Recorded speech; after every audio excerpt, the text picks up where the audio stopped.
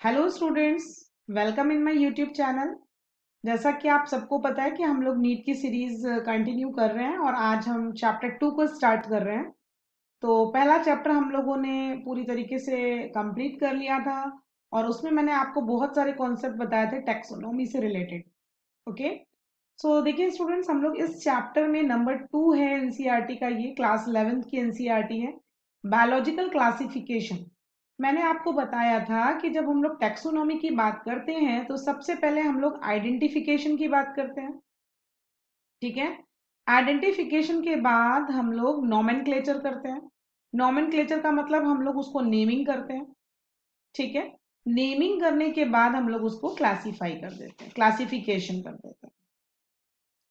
तो बात करनी है हम लोगों को इसमें बहुत सारे किंगडम्स की kingdom Monera kingdom Protista kingdom Fungi kingdom Plantae और किंगडम एनिमेलिया तो देखिए, आज जो हम लोग मॉडर्न सिस्टम पढ़ते हैं, वो basically five kingdom classification system है।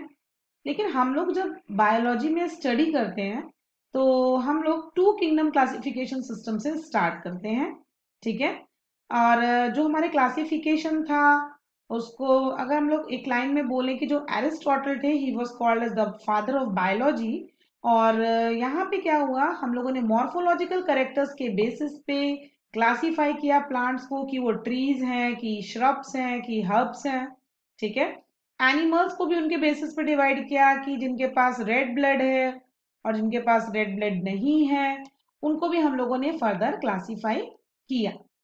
अगली बात हमारी आती है कि जो लीनियस थे कार्ल लीनियस उन्होंने टू किंगडम क्लासिफिकेशन सिस्टम दिया और बेसिकली उनका फोकस था प्लांटे और एनिमेलिया के बारे में। सो so, स्टूडेंट्स हम लोग आज की क्लास में किंगडम मोनेरा को खत्म करेंगे। मैं सारी क्लासेस पॉइंट वाइज चलूँगी। एक किंगडम मोनेरा इस चैप्टर टू को हम लोग सिक्स पार्ट में डिवाइड करके पढ़ेंगे। सो so, बात करेंगे किंगडम मोनेरा को डिटेल में।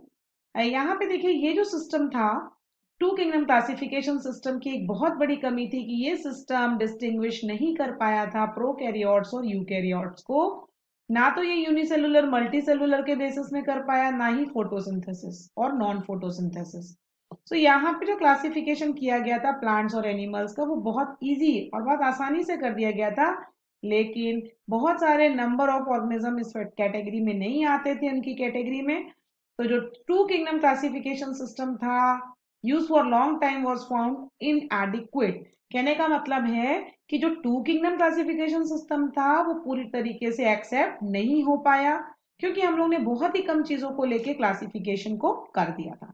आगे हम लोग समझते हैं, आगे के पॉइंट में जो ग्रॉस मोर्फोलॉजी है, या हम बात करें सेल स्ट्रक्चर की नेचर ऑफ़ वॉल की मोड ऑफ़ न्यूट्रिशन की, वो ऑटोट्रॉफिक है कि हेट्रोट्रॉफिक है हैबिटेट कैसा है मेथड कैसा है रिप्रोडक्शन का तो इवोल्यूशनरी रिलेशनशिप्स कैसी हैं? तो क्लासिफिकेशन सिस्टम को लाया गया और बहुत सारे चेंजेस लाए गए इसमें प्लांट्स और एनिमल्स को और बहुत सारे करेक्टर्स पे इनको क्लासिफाई किया गया।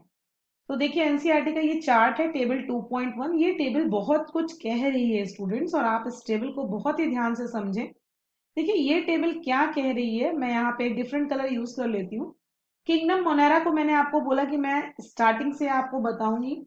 देखिए किंगडम जो फाइव किंगडम क्लासिफिकेशन था, वो सबसे पहले आप याद करेंगे kingdom Monera kingdom Protista kingdom kingdom Fungi kingdom Plantae and kingdom Animalia तो सबसे पहले हम लोग को आज के क्लास में मोनेरा के बारे में पढ़ना है। देखिए, जो मोनेरा किंगडम था, यहाँ पे बेसिकली कैसे थे? प्रोकैरियोट्स और मैंने आपको पहली क्लास में अपनी बताया था कि जो प्रोकैरियोट्स होते हैं, वो गरीब सेल्स हैं, उनके पास कोई भी सेल ऑर्गेनल्स नहीं है, एक छोटा सा घर है, कमरे नहीं है उनके पास। बिल्कुल आप प्रोकैरियोटिक सेल्स को एक झोपड़ी समझ के हमेशा याद करेंगे, एक हट से कंपेयर करेंगे।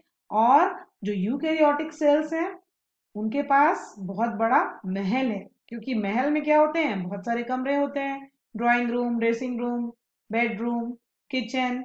लेकिन प्रोकैरियोट में तो बेचारे के पास एक ही कमरा है। उसी में उसने क्या करा? हुआ है सारा काम करा हुआ है। तो काम उतना अच्छे से नहीं हो पा रहा है, क्योंकि छोटा घर है। तो हम लोग इसको डिटेल में पढ़ चुके हैं, प्रोकैरियोटिक और यूकैरियोटिक सेल को। सेल वॉल की अगर बात करें तो सेल वॉल यहाँ पे नॉन सेलुलोज की होती है। आपको पता है जो प्लांट सेल होते हैं, उनमें सेलुलोज प्रेजेंट होती है सेल वॉल में। यहाँ पे जो न्यूक्लियर में मेम्ब्रेन है, वो भी एबसेंट है, क्योंकि मैंने आपको बताया ये प्रोकैरियोट्स है। भाई, प्रोकैरियोट्स में जो न्यूक्लियस होता है, वो वेल डिफ्रेंशिएटेड नहीं होता है। बॉडी ऑर्गेनाइजेशन की अगर हम लोग बात करें तो यहाँ पे सेल लेवल मिलेगा। आपको पता है कि cell is the basic unit of life और सेल से ही हम लोग आगे बढ़ते हैं टिश्यू टिश्यू से बनाते हैं ऑर्गेन ऑर्गेन से ऑर्गेन सिस्टम ऑर्गेन सिस्टम से बॉडी बॉडी से इंडिविजुअल सो so, ये सारी कहानी हम लोगों को यहाँ पे नहीं मिली किंगडम मोनेरा में। सेलुलर लेवल ऑफ़ ऑर्गेनाइजेशन मिला। अब हम लोग बात करते हैं मोड ऑफ़ न्यूट्रिशन की। आप सभी को पता है ये ऑटोट्रॉफिक थे अपना फ़ूड खुद से बनाते थे। कीमोसिंथेटिक और फोटोसिंथेटिक दोनों तरीके के थे। हेट्रोट्रॉफिक भी थे। हेट्रो का मतलब ये सैप्रोफिटिक थे और पैरासिटिक थे। चलिए स्टूडेंट्स थोड़ा सा मैं यहाँ पे आपको ब्रीफ कर देती हूँ कि कीमोसिंथेटिक और फोटोसिंथेटिक क्या होते हैं। सो so, फोटोसिंथेटिक वो होते हैं जो अपना फ़ूड बनाते हैं in the presence of light and chlorophyll लेकिन कीमोसिंथेटिक ऑर्गेनिज्म वो हैं जो केमिकल्स को यूज़ करते हैं फ़ूड की मैन्युफैक्चरिंग के लिए। उनको लाइट से कोई मतलब नहीं होता है। बात करते हैं सैप्रोफाइट की तो सैप्रोफाइट बेसिकली अपने फ़ूड के लिए dead and decaying organic matter पे डिपेंड करते हैं। They are basically depends on dead and decaying organic matter okay next point आता है हमारे पास पैरासिटिक तो पैरासिटिक बेसिकली वो ऑर्गेनिज्म है जो अपना फ़ूड दूसरे के ऊपर डिपेंड है होस्ट की बॉडी पे डिपेंड है और वहीं से अपना पूरा का पूरा फ़ूड ले रहे हैं। तो सारे किंगडम क्लासिफिकेशन जो फाइव किंगडम क्लासिफिकेशन सिस्टम था, वो एक साइंटिस्ट थे जिनका नाम था आर एच विटेकर उन्होंने 1969 में दिया और इन्होंने यहाँ पे kingdom Monera Protista Fungi Plantae और एनिमेलिया को बताया। ठीक है? तो यहाँ पे देखिए, हम लोगों ने सारे किंगडम को वन बाय वन इस एनसीईआरटी में जब आप पढ़ेंगे तो आपको किंगडम मोनेरा के बारे में पूरी डिटेल्स मिलेंगी और बहुत ही छोटा किंगडम है। यहाँ पे बैक्टीरिया आर्की बैक्टीरिया हालाँकि छोटा है, लेकिन बहुत इंपॉर्टेंट है आपके कॉम्पिटेटिव पॉइंट ऑफ़ व्यू से। बहुत सारे क्वेश्चंस नीट के यहाँ से आते हैं। यू बैक्टीरिया आर्की बैक्टीरिया तो किसी भी एग्जामिनर का फेवरेट टॉपिक होता है, जब भी वो क्वेश्चन पेपर बनाने बैठता है तो स्टूडेंट्स आप बहुत ही यहाँ पे फोकस करके एनसीईआरटी e को पढ़ेंगे, जो भी एनसीईआरटी e का क्लासिफिकेशन सिस्टम है। तो हम लोग आगे कंटिन्यू करते हैं। ठीक है थ्री डोमेन सिस्टम आया। और बाद में फाइव किंगडम क्लासिफिकेशन के बाद सिक्स किंगडम क्लासिफिकेशन सिस्टम भी आया। ठीक है? क्लासिफिकेशन सिस्टम पहले हम लोग ने बैक्टीरिया ब्लू ग्रीन बैक्टीरिया जिनको हम लोग साइनो बैक्टीरिया बोलते हैं फंगी और मॉसिस के बेस्ड था। फर्न्स जिम्नोस्पर्म्स एंड एंजियोस्पर्म्स को प्लांट्स में रखा गया। And the character that unified the whole kingdom was that the organism including they have cell wall in their cells. और इसको प्लेस किया गया एक साथ widely differed in other characteristics for example यहाँ पे क्लेमाइडोमोनास स्पायरोगारा इनको प्लेस किया गया एक साथ ओके okay? और जो फंगस की सेल वॉल थी, वो बनी हुई थी काइटिन की। ये पॉइंट आप याद रखेंगे काइटिन एक म्यूकोपोलिसैक्राइड है। आगे बढ़ते हैं हम लोग इसी कंटिन्यूएशन में। तो चलिए स्टार्ट करते हैं अब हम लोग किंगडम मोनेरा किंगडम मोनेरा जैसा कि आप सभी को पता है, ये प्रोकैरियोट्स थे माइक्रो ऑर्गेनिज्म थे, यहाँ पे बैक्टीरिया बेसिकली मिल रहे थे, ठीक है? एक्सट्रीम हैबिटेट्स में रहते थे, या तो बहुत ज़्यादा टेम्परेचर होगा, या तो बहुत कम टेम्परेचर होगा एक्सट्रीम कंडीशंस में रहते थे, इनकी ये खास बात है। और यहाँ पे जो बैक्टीरिया की शेप है, बहुत ही इंपॉर्टेंट है, देखिए कॉकाई मतलब जो स्पेरिकल शेप होते हैं, जो रॉड शेप्ड बैक्टीरिया है, वो कुछ इस तरीके से आपको दिखेंगे स्पून लाइक ठीक है? Bacilli coccus vibrio vibrio is comma shape this is like this and flagellum flagellum is like this spirillum is flagella like spirillum means आपने स्पायरल बाइंडिंग देखी होगी, इस तरीके से क्वाइलिंग होती है स्प्रिंग लाइक स्ट्रक्चर्स तो यहाँ पे बैक्टीरिया को क्लासिफाई किया गया। तो बहुत ही इंपॉर्टेंट टॉपिक है, इसको आप इंपॉर्टेंट मार्क कर लीजिए। Archaebacteria this is one of the very important topic for NEET okay NEET के लिए और एकेडमिक एग्ज़ाम दोनों के लिए यहाँ से एग्जामिनर क्वेश्चंस पूछते हैं।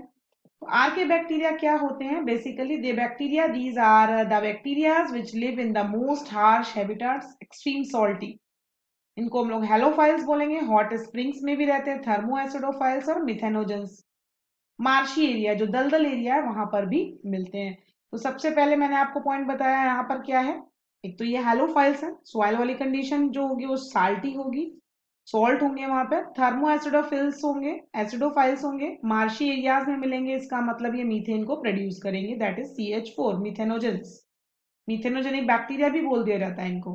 तो आर्के बैक्टीरिया जो होते हैं दूसरे बैक्टीरिया से डिफरेंट होते हैं अपने सेल वॉल में सेल स्ट्रक्चर में। ओके okay, और जो मिथेनोजेंस है ये कहाँ पे मिलते हैं? These are present in the gut of several ruminant animals such as cow and buffalo and they are responsible for the production of methane यहाँ से नीट में एक नहीं, बहुत बार क्वेश्चन आया है स्टूडेंट्स आप चाहे तो इस पॉइंट को स्टार लगा लें और आप ये सुपर नोट में लिख सकते हैं। नेक्स्ट हम लोग आगे बढ़ते हैं। हमारे पास बहुत इंपॉर्टेंट टॉपिक बचा है अभी यू बैक्टीरिया और यू बैक्टीरिया को कंप्लीट करने के बाद हमारे पास किंगडम प्रोटिस्टा है, जिसको कि हम लोग नेक्स्ट लेक्चर में लेंगे। हम लोग यू बैक्टीरिया कवर करते हैं। देखिए यू का मतलब ही होता है ट्रू बैक्टीरिया इनके पास रिजिड सेल वॉल है मोटाइल होते हैं तो फ्लेजलम होता है। साइनो बैक्टीरिया जो है वो ब्लू ग्रीन बैक्टीरिया में ही आएँगे। इनके पास क्लोरोफिल ए होता है similar to green plants and are photosynthetic अगर क्लोरोफिल ए है का मतलब फोटोसिंथेटिक ऑटोट्रॉप्स हो गए। एंड द साइनो बैक्टीरिया कैसे होंगे? यूनिसेलुलर होंगे, हो सकता है कॉलोनी में रहें फिलामेंटस हो फ्रेश वाटर भी हो सकते हैं मरीन भी हो सकते हैं। And the colonies are generally surrounded by gelatinous sheet gelatin की शीट मिलती है। And they often form blooms polluted water में एल्गल ब्लूम कॉज कर सकते हैं। Some of the organism can fix atmospheric nitrogen इनके पास एक हेट्रोसिस्ट स्ट्रक्चर होता है, जैसा कि नॉस्ट्रॉक और एनाबेना नाइट्रोजन फिक्सिंग बैक्टीरिया में आते हैं। नेक्स्ट पॉइंट हम लोग चलते हैं कीमोसिंथेटिक बैक्टीरिया नाम, जैसा नाम, वैसा काम। कीमोसिंथेटिक कीमो का मतलब केमिकल की प्रेजेंस में ये सिंथेसिस करेंगे और साथ ही साथ कैसे हैं? ऑटोट्रॉफिक हैं। इसका मतलब ये अपना फ़ूड खुद से बनाएँगे। वेरियस इनऑर्गेनिक सब्सटेंसेस होंगे। जैसे कि नाइट्रेट नाइट्राइट और अमोनिया आप लोगों ने मिनरल न्यूट्रिशन क्लास इलेवेंथ वाले बुक में ही एक मिनरल न्यूट्रिशन चैप्टर जहाँ पे हम लोग नाइट्रोजन साइकिल को डिटेल में पढ़ेंगे कि नाइट्रिफिकेशन क्या होता है डी नाइट्रिफिकेशन क्या होता है और अमोनिफिकेशन क्या होता है। तो ये कुछ की इंपॉर्टेंट पॉइंट थे। They play a great role in the recycling nutrients like nitrogen phosphorus and iron and sulphur also next बात करते हैं हेट्रोट्रॉफिक बैक्टीरिया की तो मोस्ट एबंडेंट बैक्टीरिया है। मेजोरिटी में ये डिकम्पोजर्स हैं और इनका काफ़ी इम्पैक्ट है ह्यूमन अफेयर्स में and they are helpful in making curd from milk production of antibiotic nitrogen fixing N two fixing bacteria जो आपको मिलेंगे बेसिकली वो लेग्यूमिनेसी फैमिली के मेंबर्स में मिलेंगे नाइट्रोजन फिक्सिंग बैक्टीरियाज तो ये लेग्यूमिनस जो प्लांट्स होते हैं वहाँ पे आपको देखने को मिलेंगे। ओके उसके बाद हम लोग अगले पॉइंट पे आते हैं। Some of the pathogens causing कुछ डैमेज भी क्रॉप को कॉज करते हैं ह्यूमन बींग्स में एनिमल्स में। जैसे कि आपने नाम सुना होगा कॉलरा जो कि एक बैक्टीरियल डिज़ीज़ है typhoid tetanus citrus canker and बहुत सारी डिजीजेस है जो कि डिफरेंट बैक्टीरिया से कॉज होती हैं। ये जो बैक्टीरिया हैं बेसिकली रिप्रोड्यूस करते हैं by a process which is called as fission okay लेकिन अनफेवरेबल कंडीशन में ये क्या बना लेते हैं? स्पोर्स बना लेते हैं।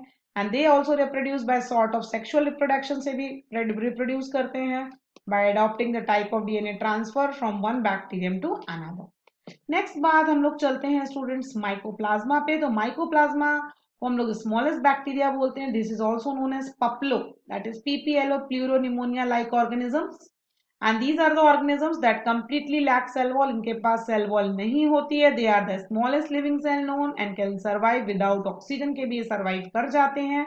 बहुत सारे माइक्रोप्लाज्मा ऐसे हैं जो कि पैथोजेनिक हैं प्लांट्स में भी और एनिमल्स में भी. और याद रखेंगे आप, इनको हम लोग पीपीएलओ भी बोलते हैं. That is pleuropneumonia like organism pneumonia like pneumonia में पी साइलेंट होगा. That is pleuropneumonia like organism so आज का क्लास आज का लेक्चर इतना ही। तब तक आप स्टूडेंट्स किंगडम प्रोटेस्टा को थोड़ा सा गो थ्रू करिएगा। हम लोग नेक्स्ट लेक्चर में कल ही मिलेंगे। मैं कल क्लास नहीं ले पाई। I was not feeling well as I told you in my video also so हम लोग कल दोबारा से मिलेंगे और किंगडम प्रोटेस्टा को कंटिन्यू करेंगे। किंगडम मोनेरा मैंने पहले आज ही कंप्लीट कर दिया। और आप लोग एनसीईआरटी के एक एक लाइन को फोकस करें। It is my suggestion to all my dear students so इसी उम्मीद के साथ कल दोबारा मिलेंगे और स्टार्ट करेंगे किंगडम प्रोटेस्टा तब तक के लिए take care all of you bye bye